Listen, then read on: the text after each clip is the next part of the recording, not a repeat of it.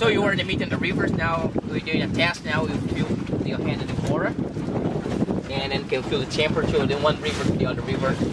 And the middle rivers in Manaus, the two rivers, Negro and Solimões River, and can feel by yourself. Oh my God. You see that? So you feel that. So if you put your hand in the water, you can feel the temperature of the two rivers Yes. in here in the rainforest. Yes. Keep on, keep on. It's a very nice place. Now we're gonna do for the Negro into the Solimões. See?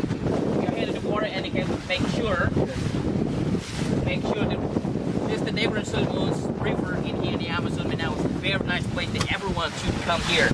Now tell her yourself. You feel that? Oh gosh, girl, take that. Super subscribe on time here.